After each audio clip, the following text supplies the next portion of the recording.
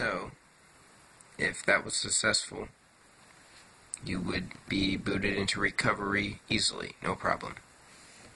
But I'm going to show you the way to boot into recovery um, without an app or anything, just hard set. So, what you need to do, as you can tell, Big Tab HD. I'm going to turn off the device right now. and Obviously, it's on. The device has been turned off.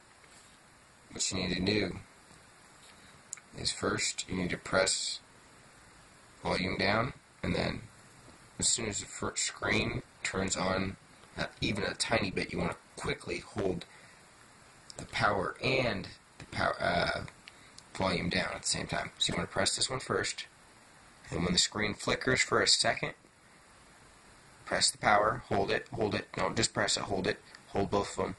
So I'm holding both of them right now. Now I'm actually going to show you how it works. So, click, screen flashes, hold the power button, hold it, let go, because you got to let go. I got it.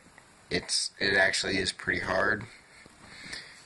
If you fail the first 20 times, guess what? That's just the way it is.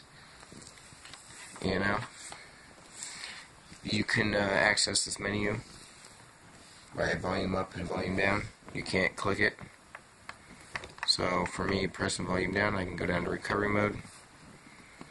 I can press the power button one time to select recovery mode.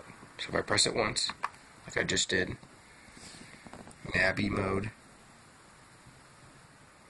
and then it's loading, it's not rebooting or nothing, it's going to the next part of what I clicked.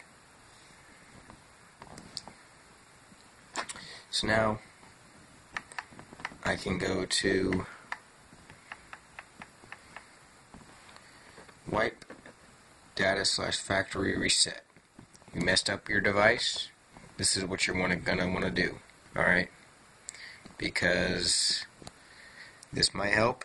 It uh, When you reset it, it tries to reinstall all the Nabi, uh, Nabi drivers for this device. Uh, even if you uninstalled it, it tries to do it. It probably won't work for you, but hey, it's definitely worth a try because it's worked for me in the past.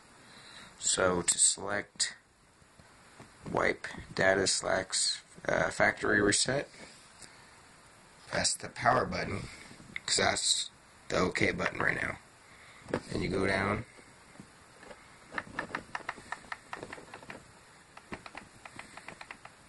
And press yes to reset your device.